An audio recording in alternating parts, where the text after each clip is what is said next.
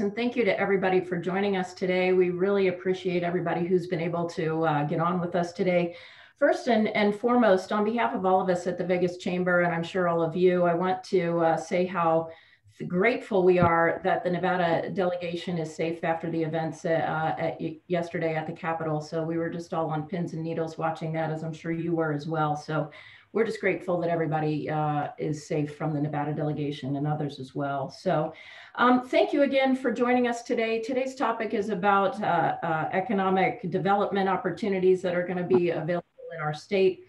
What is the direction that the state is going with diversification, uh, workforce development, and uh, we're so pleased today and honored to have our, our great uh, panelists with us and my co-moderator, Director Brown. Just have two little bits of housekeeping that I want to get to before we start. We're starting a Legislative 101 series that you're not going to want to miss, uh, and that's uh, to help us all get prepared for the upcoming 2021 legislative session.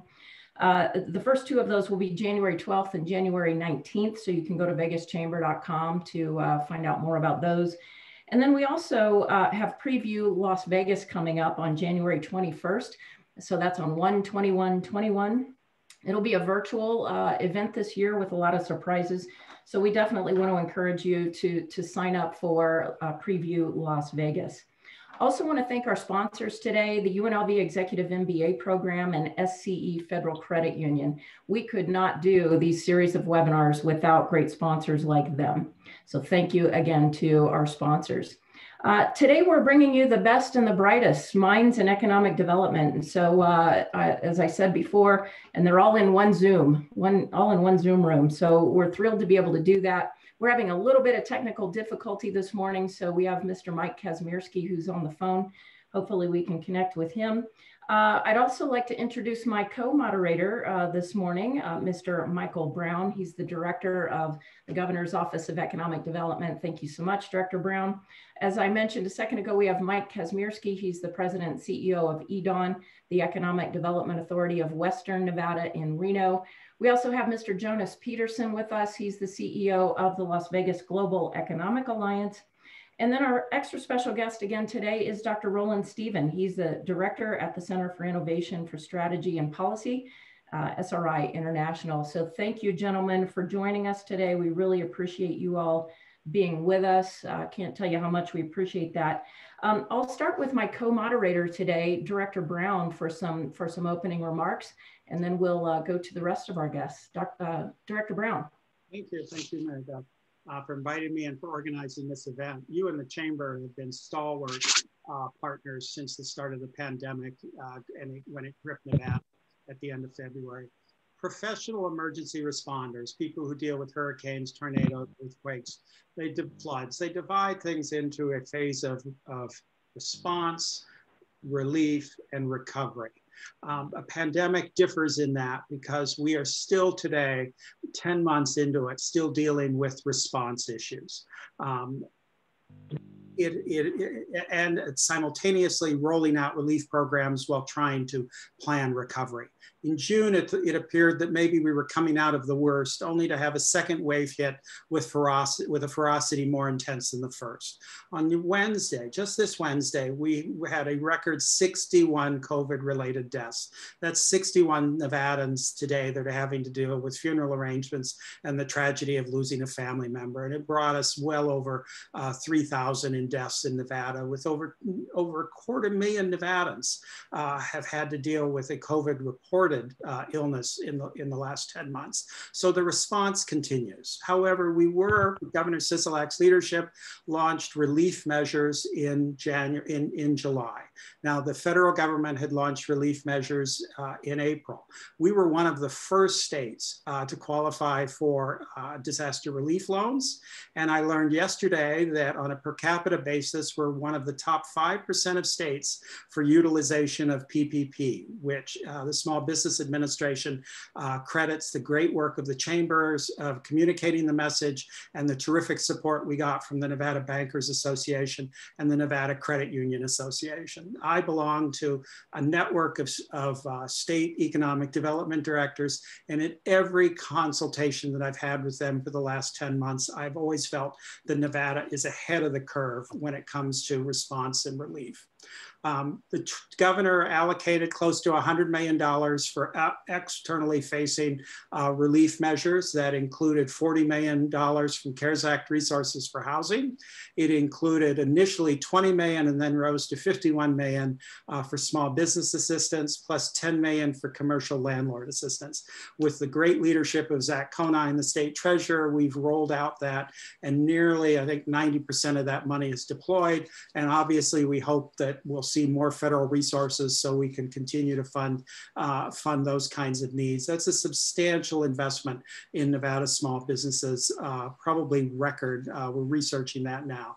In the process, Treasurer Conine and I spoke to hundreds of small businesses over the last few weeks and, and understand the challenges that they face. And we're trying to do all that we can. The government is good. Government is good when it comes to helping uh, stabilize the financial system, but it struggles when it comes to stabilizing the neighborhood coffee shop. Uh, I believe that some of the programs we've been into, put into place have, have helped address that need. Uh, obviously, we also need to be looking forward. And so the state contracted with SRI, uh, which, which has its roots at the Stanford Research Institute, early in the pandemic. And Dr. Roland Stevens has provided ongoing advice and consultation to us. And he'll give you a preview for Preview Las Vegas of what we see going forward. Obviously, we need to put Nevadans back to work. Uh, on our tourism-based economy, that means we have to have a secure public health system. Um, you know, you want to see recovery uh, accelerate, wear a mask practice social distancing. And ultimately, in a state which has low vaccination rates for many infectious diseases, we need to have a firm commitment in the business community to securing vaccination, because only then will tourists return uh, to Nevada, and only then will business and conventioneers follow them. And so uh, I look forward to uh, working with all of you, and, and I'm pleased to be partnered with Mike Kazmierski and Jonas. I had the distinction of serving on both of their boards in my private prior private sector life and enjoy working with them today. I won't steal Dr. Roland uh, Stephen's uh, thunder as he rolls out some of the ideas that we'll be bringing forward uh, for recovery and resiliency. And thank you for inviting me to join uh, you this morning. Well, thank you so much, Director Brown. We appreciate your remarks and your service to the state. And on that note, uh, regarding the state, we're not just focusing on one particular part of the state. Certainly, we all work together to make the great state of Nevada. So on that note, that's why we invited uh, Mike Kazmierski from EDAWN in Reno. He's with the, uh, the, CEO of the Economic Development Authority of Western Nevada. So Mike, let's go to you for just a, a few opening remarks and then we'll go to Jonas. Well, thank you, Mary Beth. First, I want to make sure you can hear me. We can. Thank you so much. Okay, well, that's good news because our entire building went down this morning about five minutes before we started to do our video check. So I apologize for that. Uh, glad we can connect via phone. Um, first off, uh, it's a very different world up here than it is down south and in many other communities.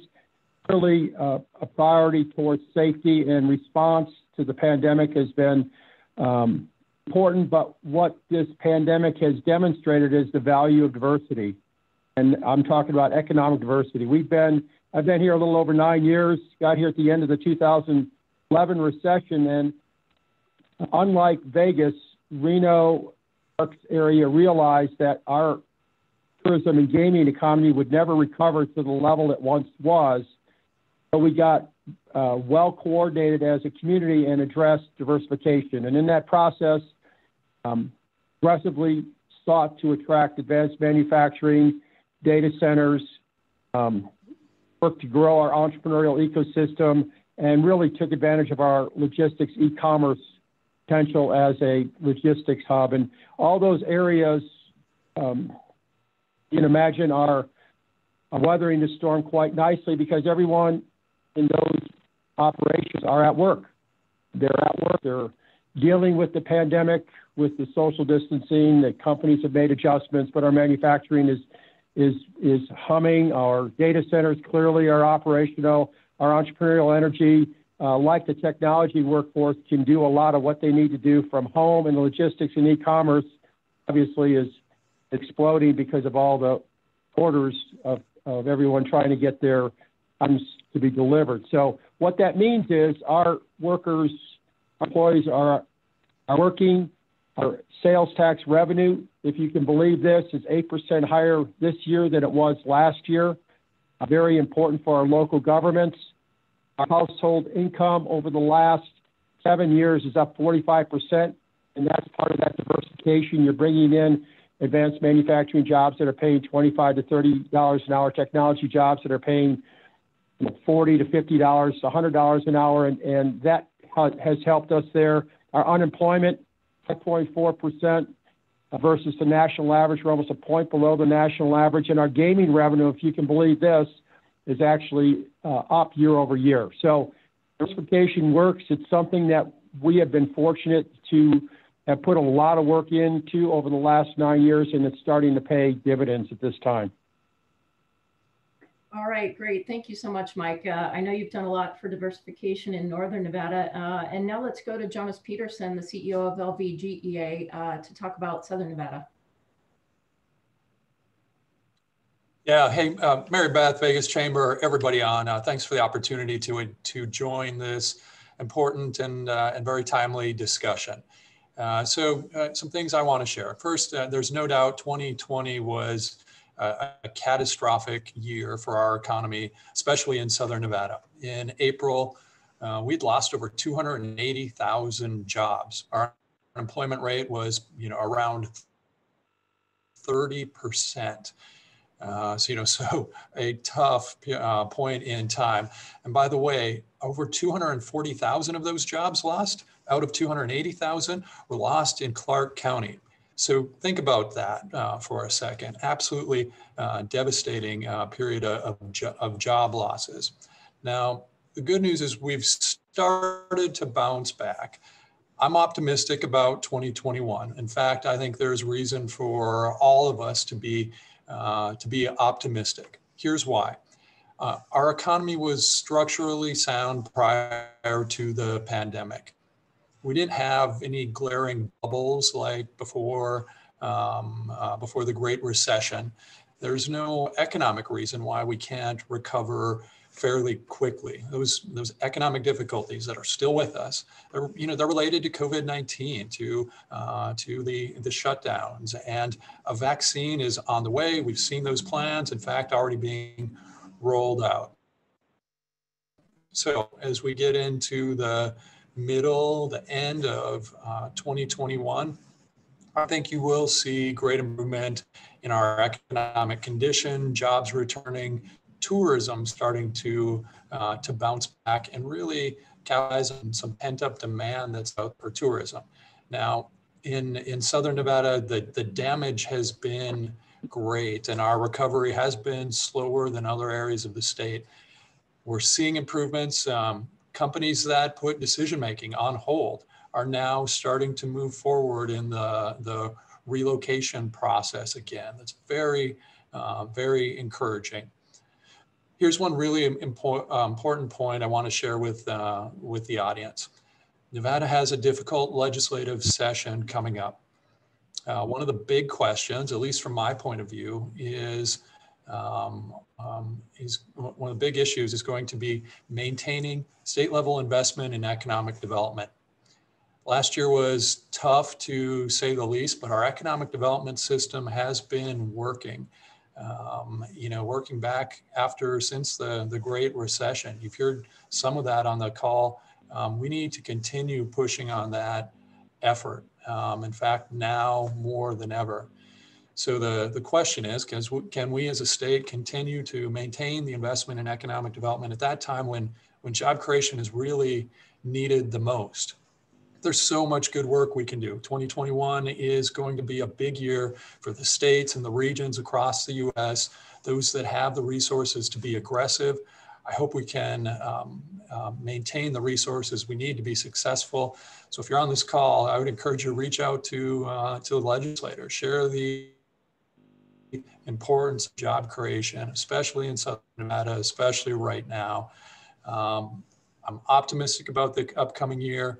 In fact, um, we've got some uh, some good announcements to share, and we'll be uh, rolling out some more of that at our State of Economic Development event on February 9th. I'll cut it off uh, there and throw it back to you, Mary Beth. Excellent. Thank you so much, Jonas. We'll be sure to mark down February 9th on our calendars. And, and thank you to you, uh, Director Brown and Mike Kazmierski, because you've set the stage perfectly for Dr. Roland Stephen. Uh, you know, you've given us the, the, the strengths and the weaknesses, some of the challenges, and Dr. Uh, Dr. Stephen has a, an excellent PowerPoint on Nevada's plan for recovery and resilience. So Dr. Stephen, with that, uh, thank you for being with us, and I'll hand it over to you. Uh, Mary Beth, thank you very much. Uh, and I, colleagues on the panel who I, I know well now over the years, this is a privilege. Of course, it's also an opportunity as we look into 2021. Uh, I think the second half of the year is going to look very different to the first half of the year, and I, I quite agree about that. Uh, and I think the medium term is very exciting for the state, both north and south. Uh, so I'm going to move quickly through some slides. I promise uh, there will not be death by PowerPoint. I can. I like talking quickly. I've got uh, my my my pronunciation is crisp, so I hope you get it all. And it's the back end of the presentation that's most important. So uh, Director Brown and GOED and their allies in state government and of course in the regions of the state, including rural Nevada, have done tremendous work on immediate recovery activities getting federal resources to small business, getting PPP out there. And they've had many, by the way, private sector allies in that, a model of a private sector engagement. So the back end of my slides are going to be, I think, the more important part. And I've always felt it's our job at SRI to look down the pike a little bit and to see uh, how to make the most of what could be an exciting period in the US economy generally. However, uh, let's start with the slideshow, and we'll start. We'll start with the. Uh, we'll start with our vegetables. We'll take a look at uh, an economic forecast that's part of our uh, plan, uh, provided kindly by RCG Economics. I know is a good friend to you all there in Southern Nevada, uh, and they contributed this to the to our to our reports. So I'm going to click through very quickly as Mike mentioned SRI International based in uh, Silicon Valley, formerly uh, a unit of Stanford University, an advanced research institute. My shop in Washington, D.C. does technology and uh, based and uh, skill based economic development, as well as uh, program assessment and evaluation. Let's quickly turn to the public health, the, today's reality, public health and economic challenge. The pandemic's hit everyone. As you just heard from Jonas, Southern Nevada is particularly exposed with a pro-cyclical economy. That job number Jonas mentioned, that is almost equivalent to all the jobs created in the recovery from trough to peak after the last downturn. So in April last year, state of Nevada practically gave back everything. Now, a lot of that was temporary. Some people are getting back to work and so on, but still, the, the, you can imagine the scale of that shock. Here uh, we look at some scenarios. Once again, let me uh, recognize John Restrepo there who helped us, who put this together. Uh, looking at the end of 2021, uh, most likely case, he still thinks uh, that he and his team uh, still think that Nevada's economy will be between four and 5% below what it could have been in a no pandemic scenario. Okay. And uh, of course, uh, as you've just heard from Mike Kazmierski, a lot of that implicates Southern Nevada, right? Southern Nevada's unique exposure. Uh, what to do about that? The immediate recovery, just referenced Michael uh, and uh, Director Michael Brown and the GOED team and all of their partners and allies across the state have been addressing the coordination problems, the information problems, mobilizing data, mobilizing leadership, uh, and so on uh, to accelerate recovery. I'm going to speak a little bit to that. And then working with stakeholders, what are the visionary policies, right, that will set Nevada apart from the, for the future? That really is uh, where I have done a lot of thinking. I think that's a tremendous opportunity. Uh, and particularly when we turn to Southern Nevada, if and uh, it's true, Northern Nevada was at a fork in the road at the end of the Great Recession, 2010, 2011. Southern Nevada is at that fork in the road today. Of course, Vegas will be back, right? Of course, uh, Southern Nevada's incredibly, incredible world competitive advantage and world brand, for that matter, in hospitality, gaming, entertainment will will flourish again. But the future for the region has to be more than that, right? Because let me tell you, crises are kind of like buses. Sooner or later, another one will come come by. And and does Southern Nevada uh, still want to be hooked up to this pro-cyclical economy, this economy which is great in the boom times and then is it really takes it on the chin in, in the, in the bad times. Um, so with that in mind, let's uh, let me turn to a little more on the background.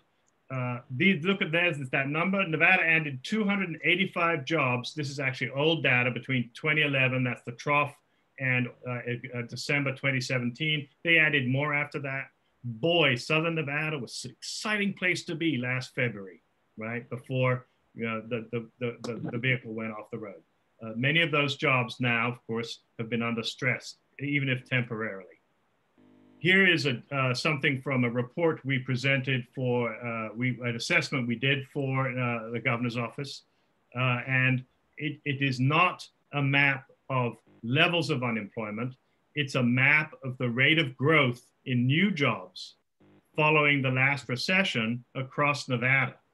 And we see while gaming and tourism, right, a lot of jobs didn't grow that quickly. Also, by the way, the color coding indicates the pay, average pay levels in those jobs. Aerospace and defense, almost 20% over that period.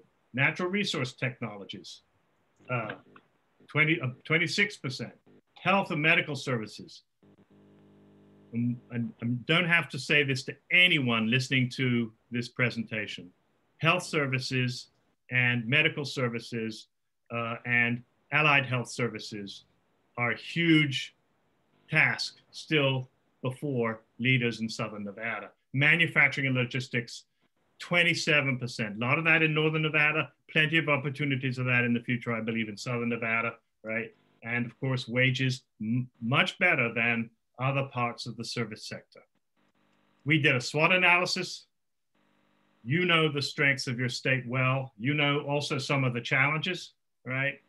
It's a it's a dynamic state. Michael and I often have this conversation when you know people in Southern Nevada they, they've got a job, they've got a side hustle, they're ready to start new businesses. They're not here uh, because they're looking to uh, escape from life. They're here because they want to work hard and do a little bit better than wherever they came from, right? So often the case. So that, by the way, is a tremendous natural resource. In the 21st century, that kind of enterprising population is what I prefer to have that almost than anything else. Uh, you've got a small state advantage. Someone wants to get something done. They call Jonas. Jonas has some challenges. He knows the five people in Nevada to go and call and get it done, right? That's not true in California, let me tell you. Uh, and you've got some established models of success in workforce and education. You also have some challenges, candidly, in education more broadly. Uh, and a lot of your opportunities as a, as a location, Southern Nevada in particular, we'll have a little picture about that in a moment, beautifully located between near the West Coast markets, near Phoenix, Arizona, right? The way to make most of a great location, as any realtor will tell you, is to have nice structures on it, right? Nice infrastructure. So that's uh, the opportunity for the future. That's something that needs to be fixed up. Access. So there are your opportunities, access to West Coast markets, uh, Las Vegas world brand. It's a great brand. And whether you want to broaden it, uh, whether it's everything you want it to be, there are very few metro areas in the United States or indeed anywhere in the world that have the kind of brand that you all have.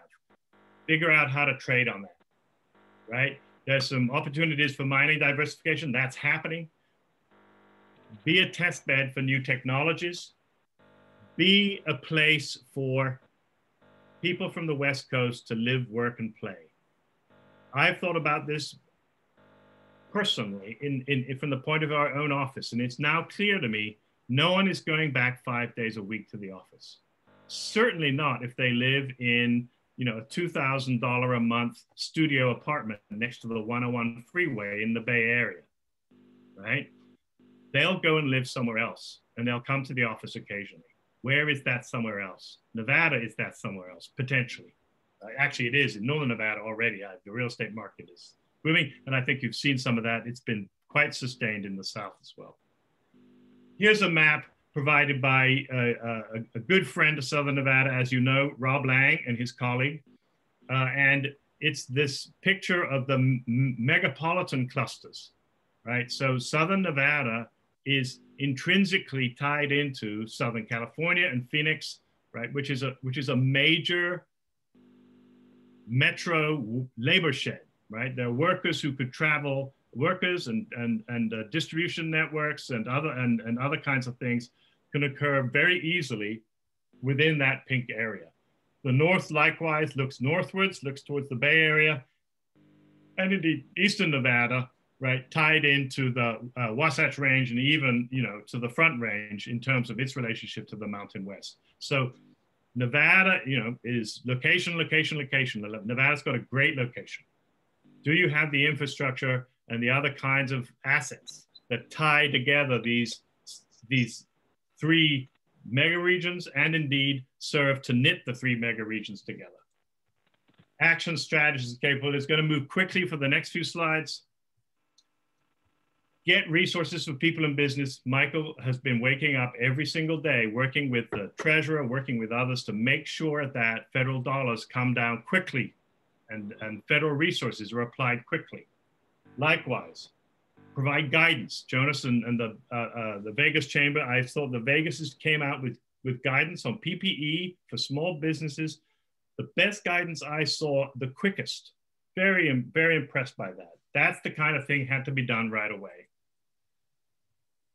Get people into new jobs. Some of the jobs that have gone are not coming back. Right? So get people into new jobs. Uh, Allied Health Service, Health Services obviously mentioned that. New technologies for business, right? It's amazing. Even, you know, people, businesses in the Washington, D.C. metro area struggled with mobile payments, online, online offerings, managing their workforce in a remote way or a partially remote way. These, these necessities technologically are not going to go away. They're with us forever. And, and data for decision making. I'm going to move on quickly. But uh, GOED has provided through CARES Act funding an incomparable resource for labor market intelligence called EMSI. Jonas has access to it. Mike Kazmierski has access to it. Michael has access to it. It is state of the art in solving the matching problem between people and jobs, simply stated. And if we're in a period of change, and we are, uh, it's all the more important to have this kind of real-time intelligence. Before I go into the visionary strategies, I just want to say something, and I'm keying off here something I heard actually from Chris Sanchez. I don't know if he's on this call. Um, he might well be, right? Um, we know that a wonderful biotech science sector in, on planet Earth produced a vaccine in less than 10 months. Didn't just produce it, they made sure it was safe and they brought it to market. That is 10x faster than it ever achieved something like that. That's an extraordinary human achievement. We are beginning to see data, however, that businesses are moving and adopting new technologies 10 times their regular speed. That online shopping has gone up many times, right, in a matter of weeks and months than its growth in preceding years. So the rate of technological change in the, in the years ahead, I fervently hope will be extraordinary. This implies, of course, change in work, change in kind of work, the kind of work, change in new opportunities for new work, right? Uh, and uh, uh, quite radical potential for growth. How does Nevada play into that? That's really the subject of our visionary strategies. Be an advanced manufacturing hub there are compelling supply chain and, to be perfectly candid, uh, national security considerations around onshoring some manufacturing. We're not going to buy some of our critical biomedical or uh, electronic or other kinds of ingredients for an industrial economy from just anywhere. That's not going to happen in the future. There is an opportunity already. Let's say there is the opportunity. I'm, I'm sure Mike has got three guys in his hip pocket, could be arriving tomorrow, right? There are opportunities for onshoring in that space. And around that, of course, you will need logistics. That means world class communication technologies. That means world class transportation and multimodal facilities, right? That means all of the hardware that goes with it. Secondly, a world class carbon economy. Uh, Nevada should be home, is home already to the renewable energy supply chain. Batteries, yes, but maybe other things. Geothermal technologies are a first cousin to fracking technologies, as you may or may not know, right? You could provide a lot of, you will be providing a lot of uh, Nevada's needs for renewables, not just from solar, although solar is highly competitive, but from geothermal in the years ahead. Guess what you need though? Infrastructure. You need to have the grid that can balance out those uh, uh, sources of power. And then uh, be a place to experiment. Um, we know that Las Vegas is already a place for the Boring Company. It's for the Virgin Hyperloop. You've got autonomous taxis. That's great. And you know, I'm agnostic. If some of those autonomous taxis crash into someone, go and experiment with a different technology. Uh, be a place where innovators and innovative businesses can come and bring their wares some people, almost no one knows this, but it's one of my favorite anecdotes. The very first public demonstration of a steam train ran over a cabinet minister in the British government. Now, in the present day, that would create cries of alarm and uh, all kinds of, oh, well, we can't do steam trains. They run over people. That is, in fact, not what happened. The whole country was covered with a network of railways within a matter of a few decades, and growth and productivity went with it. So we, we need to we need to we need to have that kind of attitude, right? Technology, total connectedness. I'm agnostic. Will it come from satellites? Will it come from glass in the ground? Maybe it's both of them, you know, all of the above.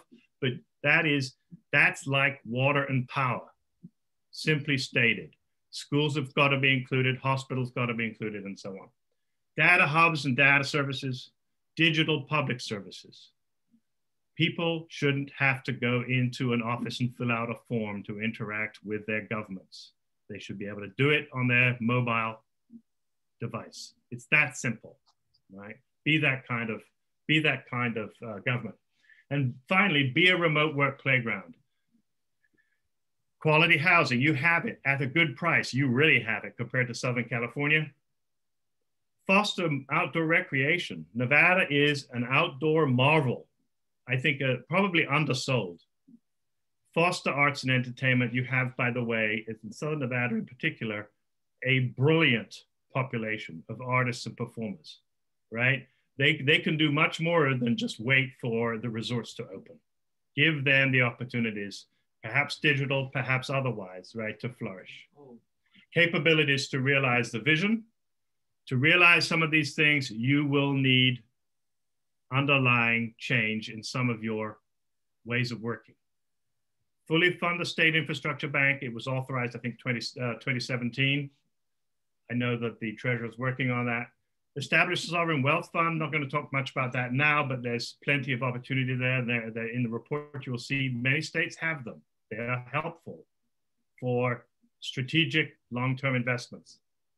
Build local networks of innovation and evergreen funds have uh, have a innovation fund working through business with your research institutions. Have one door for one door to knock on in, in state government for small and medium-sized business. Grow community banking networks. See there's quite a lot on finance here. You'll see uh, that, that, that, that, that it's thin in terms of the infrastructure in nevada states with deep networks of community banks, uh, other kinds of banks, did much better in weathering the storm for small business. So, uh, and then there's some governance and funding mechanisms for the community college system in the future. That is the future, right? Those are the institutions that are going to fuel your transition to advanced manufacturing uh, and to other, other kinds, and to health services, for example, allied health services, and follow the statewide climate plan. The, guy, the, the candidate enterprises that you want to touch down in Nevada have 100% renewable energy as a condition for doing business, and very often is the case. So that's all I've got right now. Thank you. I went longer. Mary, Mary Beth, I apologize. No problem, Dr. Stephen. Thank you so much for that great uh, presentation. I, I, know that set up set the stage for a lot of questions that we have in the chat, and I do want to encourage everyone to ask your questions. Uh, and with that, uh, Mike Kazmierski, there is a question in the chat regarding publicly traded startups uh, in neighboring states, and and they're relocating uh, and so forth. Um, this person asks, it's William Leopard. I, I, know, Mike, that at EDAWN, you're focused on the importance of entrepreneur, entrepreneurial development, and now we see you. Excellent. Hi there, Mike. Uh, you're focused on the importance of entrepreneurial development. What are you and what is the state doing to foster the startup growth? Uh, and what sectors present an opportunity for startup growth in Nevada? Well, that would be enough for about a, a one day uh, session, but let me keep it really short and sweet entrepreneurship is such an opportunity for the state.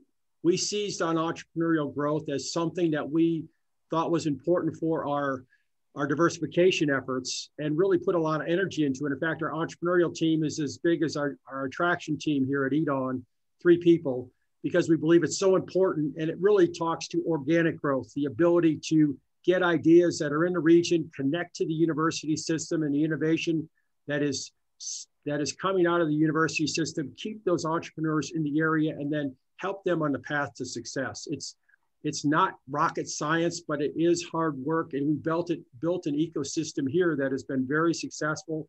We've got many startups now. In fact, we launched a, a, a Reno seed fund out of EDAWN that is invested over a million dollars and at very you're talking small levels of investment 500 you know 50000 to 150000 dollars and yet that million dollars we put into the entrepreneurs has has produced results that uh, follow-on investments of 10 times that into our region and created and attracted many technology workers and innovation to the region. So it is an opportunity for this state. A lot of those workers are fleeing california. We have a great environment quality of life as roland talked about and all the other things. We believe we can attract some entrepreneurs ideas from other states, but not only that, grow the organic ideas here so that the companies are here. We don't have to drag them out of another state. We can just grow them here. So that the vision for the state to be the, the most entrepreneurially friendly state in the nation would be a great vision because it would allow us to really embrace that kind of idea. And I think we've got so much going on here from blockchain technology, and you saw digital currency going off the chart today. Um, you've got battery technology, which is state of the art, unbelievable opportunities there. Uh, the lithium uh, connections and other things that are just organic to the state already, and we're already taking off on it. Electric car technology. Roland talked about some of the technologies that are going on in Vegas. We are an innovative state, and if we could harness that, it could drive us to the next level as far as economic development. That's an excellent point. Thank you so much, Mike. And I know we could have several webinars just on that. Uh, Director Brown, I wanted to defer to you in case you had comments or, or any uh, questions or points to make. Yeah, we are in we're in discussion with a couple tech companies right now. Um, Mike and um, and J Jonas have got uh, others that have been knocking on the door. You know, a lot of companies they're they're waiting to see they're uh, on hold, waiting to see what the pandemic is, but they're they're kicking the tires. I think one of the things that has happened is I get a lot of calls from people who have second homes in Las Vegas and they've or in or in Lake Tahoe and they've taken refuge here and they're calling us about with their ideas on what they can do in in the state as they're living here now. They're getting more familiar with the state. And I've got one company that's talking to us about trying to bring, bring their business here. And frankly, absent the pandemic, uh, I think they would have stayed in California. But living at Lake Tahoe now, they're very intrigued with, with coming here. So uh, we're going through that, that process of evaluation and socialization. Okay, excellent. Thank you, Director Brown. Uh, Shondell Newsom um, is on, and he, he made a point just a second ago. Small businesses can be a major part of the recovery for Nevada. How is the state ensuring that procurement opportunities stay within our state until we are healthy? And are we able to restrict procurement contracts going out of the state until we have our economy back? That's a good question, Shondell. Anybody like I can speak to that if you, uh, the, Secretary of State, Barbara Cegavske, who serves on the GOED board, every application that's now coming through, she is asking about what their commitment is to buy from Nevada vendors. And Governor Sisolak has asked us to kind of up, uh, up the standard with companies that are interested to come here and, and prove to us and show to us that they're committed to being strong community players and have small business, have commitment to small business and, and a commitment to uh, a Nevada workforce. Second, though, is we have a unit in the state government that does procurement outreach for small business. It comes through us from the Defense Department. But one of the things I discovered when I took this job is that we were not using that unit to recruit them for state contracts. Uh, that's been changed now. And so the PTAC unit that's within GOED is now also out there uh, trying to uh, land small business contracts uh, with state government agencies, and that work will continue. I don't know the answer about restrictions. There's always commerce clause provisions and that type of thing. Uh, but uh, I, will I'll certainly take it under advisement and, and, investigate a little further. Okay, excellent. We also have uh, on the line uh, Jaime Cruz with Workforce Connections. Um, he's been a great partner of both the LVGEA, the Las Vegas Global Economic Alliance with Jonas and the Vegas Chamber and many, many others. Um, and we've been working very hard on, on developing a, a workforce development committee. And I know uh, Dr. Stephen mentioned the workforce normal and beyond. Jaime, uh, are you there? Are you on the line with us? I am here, Mary Beth. Can you hear me? Yes, thank you. Go ahead. Yeah, so I think um, what uh, Shondell mentioned is really important that small businesses need to play a, a, a will play a major role in, in, the recovery of our economy. And so, as you know, Mary Beth, we have been working together with the LVGA and the Vegas Chamber and the other chambers of commerce to really connect with those small businesses. Together, we implemented the layoff aversion pilot to help some of those businesses keep uh, over 300 staff members on the payroll during the worst times of the pandemic but now we are set up to really be there to help them and connect them to the millions of dollars available in the public workforce development system through what we have just opened at the Vegas Chamber and at the Sahara West Library, which we call EmployNV Business Hubs. That brings together partners from the workforce development system to really streamline for these businesses what can sometimes be a very complex and bureaucratic system to again help them as, as simply as possible uh, to recover and grow again. Okay, excellent. Thank you so much, Jaime, and thank you for your partnership. We also have another question from Golda Cordowin. She says, are there going to be any incentives for entrepreneurs to open a small business in Las Vegas this year? I know Mike Kazmierski addressed that. Jonas, in conjunction with that question, I would point this one to you. Are there new industry opportunities emerging for Southern Nevada as we recover, especially as it relates to Golda's question about incentives for entrepreneurs? Yeah, great question. Um, in fact, we're currently working with uh, Roland and the team at SRI on updating the uh, the target industries that Southern Nevada focuses on for our recruitment efforts in particular. Um, we expect many of the uh, the traditional high growth industries to uh, to return, but we know that there's been a lot of shifts as well. So there's emerging opportunities. Good news is we're starting to um, you know see that bounce back. In fact, um, our team is going to be presenting uh, around uh, companies uh, that represent around a thousand jobs we anticipate at the next um, uh, upcoming GOED board meeting. So there's there's some positive movements. Um, what do those industry targets look like? Um, so more to come, but we know manufacturing, logistics, distribution um, is going to be a big part of that. Southern Nevada, but really statewide healthcare, um, kind of at all levels, service delivery, R&D, Um, education needs to be a big part of, of our strategy. Sports related industries, technology um, benefits everybody. So I think you'll see a big push continued there.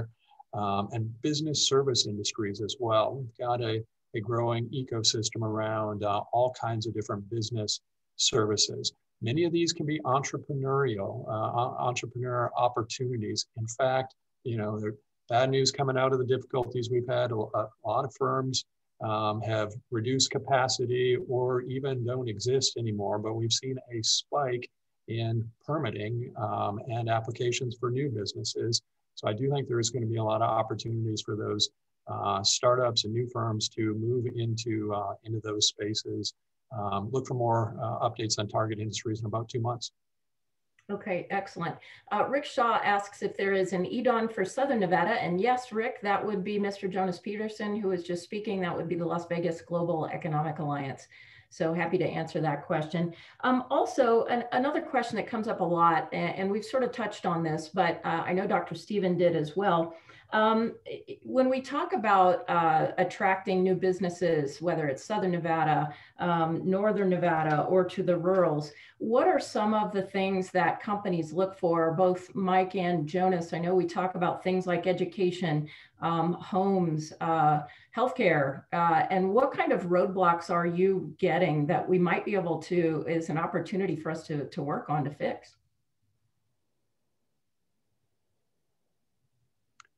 Boy, that's something we all could probably uh, uh, dive into um, for a long time. I'll share some quick, uh, happy to uh, share some quick remarks from Mary Beth.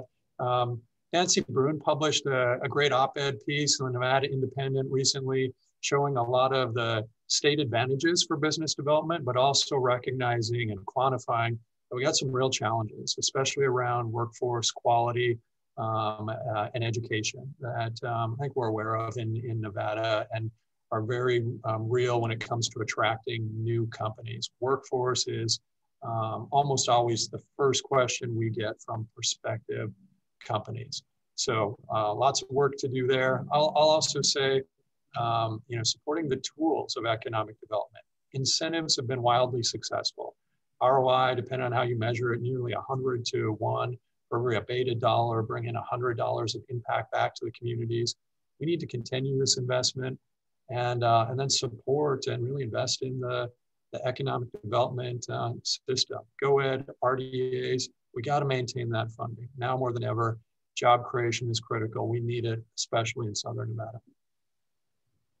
Mary Beth, I would, I would reinforce Jonas's uh, push for workforce development. We're really talking about upskilling, taking a worker who is being displaced by technology, by the pandemic, or by other um, changes and upskilling them so that they can fill some of the quality jobs we have coming to our community. So that workforce development piece is incredibly important.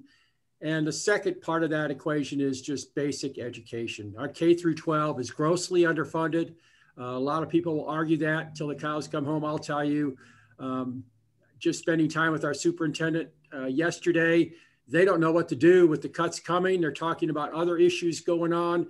Um, they are in true panic mode right now. Of course, we're in session, uh, K through uh, the elementary level are in classroom. So they're dealing with the pandemic on a daily basis. But that said, our education institutions have not been taken care of, have not been a priority in the state. And if we're going to really meet the needs of our economy going forward, the technology workforce, the advanced manufacturing workforce, we've got to invest in those kinds of skills because it's too expensive to move employees into the state just to do the jobs. So they're going to go somewhere else. And speaking of advanced manufacturing and incentive, Jonas hit it on the head when he said incentives are part of the process.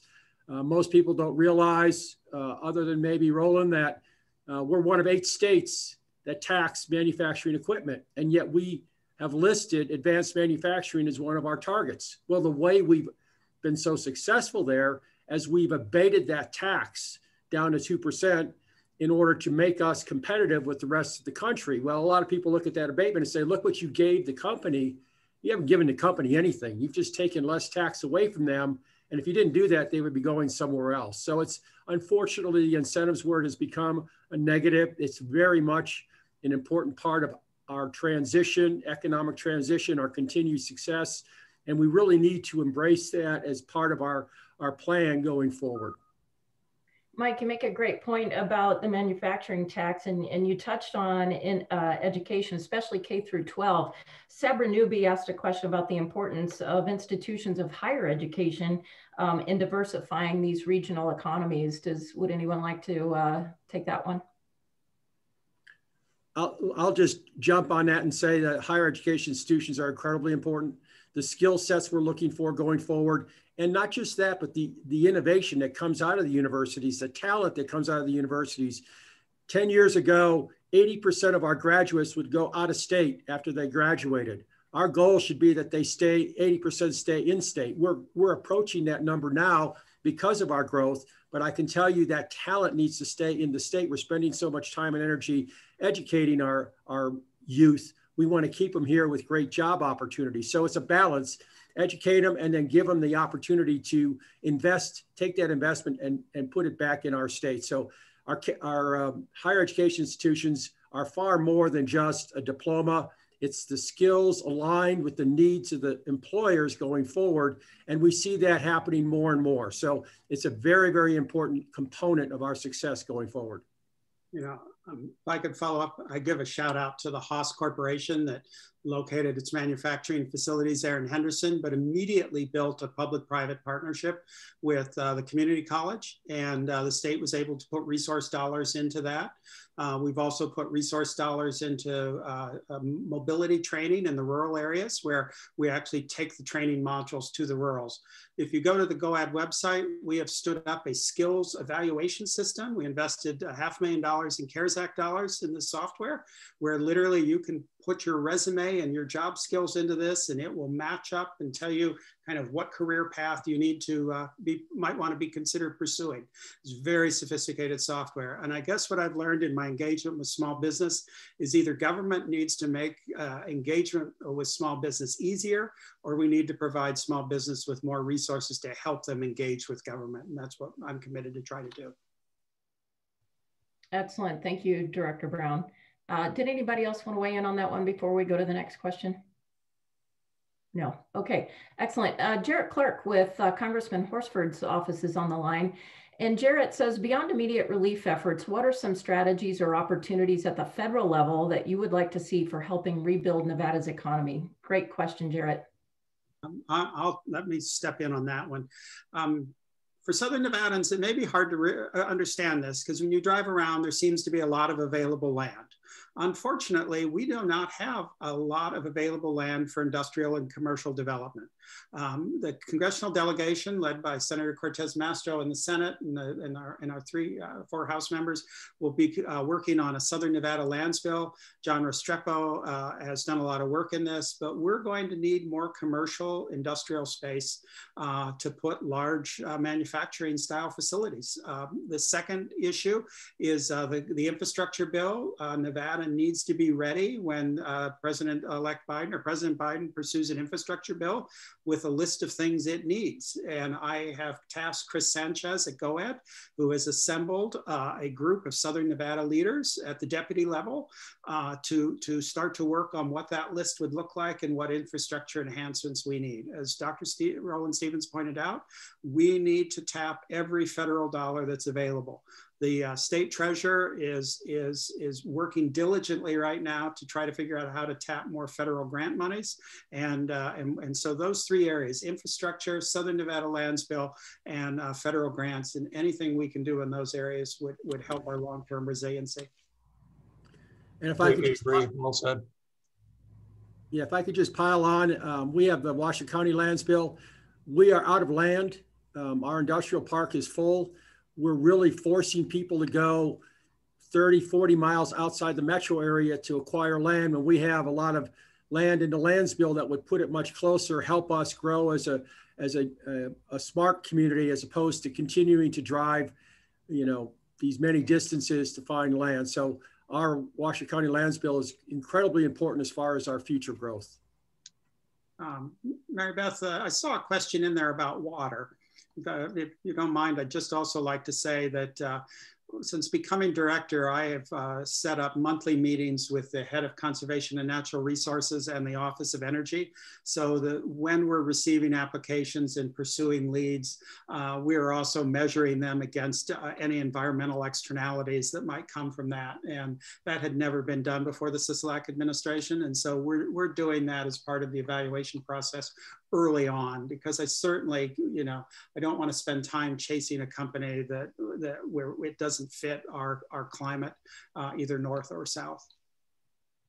Okay, great. Thank you so much. Uh, we have another question from Alexandria. She says, most of the conversation around economic development has been centered on bringing businesses from out of state uh, to this region. She says, what in, uh, initiatives might be in place to foster local uh, locals building diverse businesses here. Um, she says specifically in Southern Nevada, and, and then she goes on to say that she feels like Northern Nevada has far more entrepreneurial groups and connections to the university. So um, Jonas, I think that might be a question for you if you want to weigh in on that one.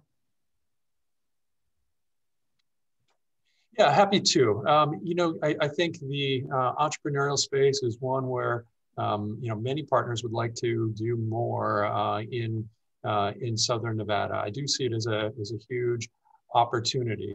There's uh, a lot of resources you can uh, you can check out um, that are available to businesses, especially through uh, pandemic recovery resources on businessinfonetwork.org. Um, we see entrepreneur and that startup space in particular um, as a huge opportunity where I know our team at LVGA would uh, would uh, sure like to do more. I can also, Mary Beth, speak to that. As GOED, when it was established, built into its DNA was the poaching. We were supposed to go outside the state bring something in. Um, I'm trying to get us a little more focused on how we grow internally uh, with the resources that we have. One of the things we're trying to do, at least in the rural parts, uh, is, is bring a lot of the mining supply chain to Nevada, so it's not sitting outside of Nevada. Um, and we're just, we're also starting now a series of regular consultations with local government because they would know best where those opportunities rest. And so we're, we will be prioritizing that going forward. But the original conception of economic development was as a poaching operation, not as a, a redevelopment. But we'll, we'll change that. Well, excellent. Well, uh, with that, with respect to everybody's time, we are out of time, but I would like to uh, give any of you an opportunity to uh, make some closing remarks, uh, particularly Dr. Stephen, uh, as you haven't spoken quite as much, but anybody who has closing remarks or if there's something we haven't touched on, please feel free to, uh, to speak now. Thank you. Well, first let me say, listening to my, my friends here, Nevada has great leadership in the economic development space uh, and uh, to be congratulated. Of course, miles to go before you rest. Well, you'll never rest, but uh, a lot of work to be done. But uh, I think some of the key points have been hit on, right? Um, innov- innovation, but innovation as a, as a function of people, the graduates of your higher education institutions, but also the people who are moving here. They, that is gold dust you could have people moving here from the Bay Area who have accumulated uh, shares in, in businesses they've been working in. They're now working remotely. Turns out the weather's rather nice in Northern Nevada. Turns out the, the rock climbing is great in Southern Nevada, right? Maybe they, maybe they want to stay. What do they do? They start a business, which they know how to do, by the way. And they have all of the context and all of the experience to do that. So for innovation, talent is the resource.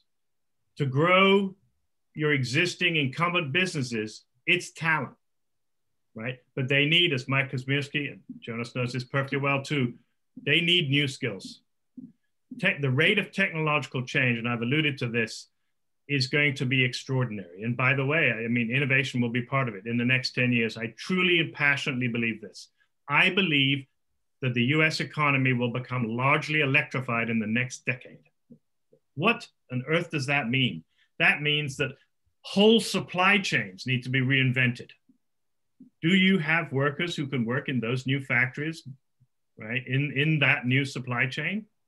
So it's talent and then infrastructure. Do you have the connectivity Do you have the rail connections? Do you have the logistics parks? Do you have vehicle charging stations? Do you have the grid infrastructure? The list is, again, endless. Right? Do you have the freeways, by the way? If you if you've got congestion, looking at you, Spark Reno Sparks, right? You you need to work on that as well. Just bread and butter, right? So uh, talent and infrastructure, and you'll get the innovation, you'll get the technological change, you'll get the growth. Thank you. Excellent, Dr. Stephen. Thank you so much for your uh, for your remarks. We appreciate it very much. Jonas, Mike, or uh, Director Brown.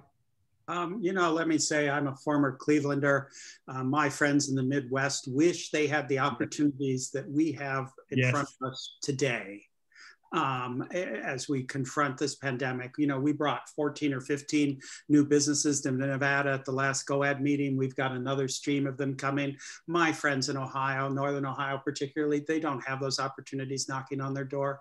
You know, you saw the map that Dr. Stevens put up. There are countries that would like to be positioned in the geographical position that Nevada occupies with respect to those Western and Pacific markets. So I think I would just say, you know, uh, these are tough times. We're going to get through them. Nevada's gotten through tougher times than uh, this, you know, and, and uh, you know, I think the good jobs today, better jobs tomorrow. Absolutely.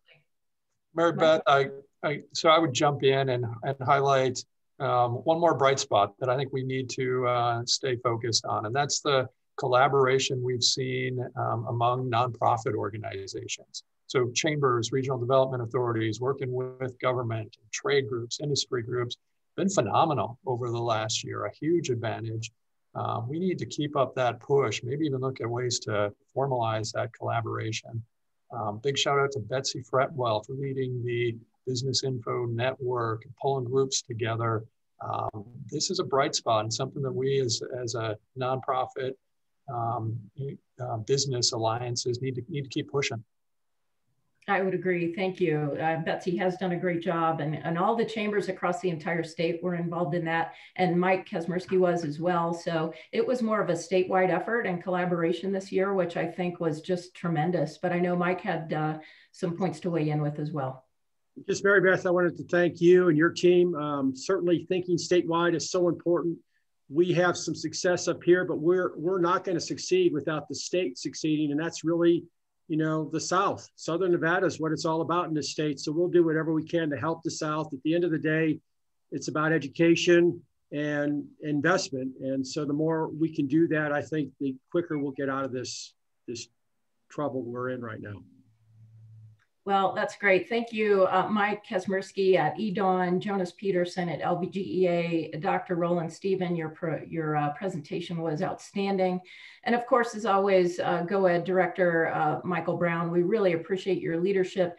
Thank you all so much for your time today. We've had several requests for that PowerPoint. We, we can send that out after this uh, webinar is over. So thank you all again for your service to the state. We wish you all a, a great rest of your week and everybody be safe. Thank you so much.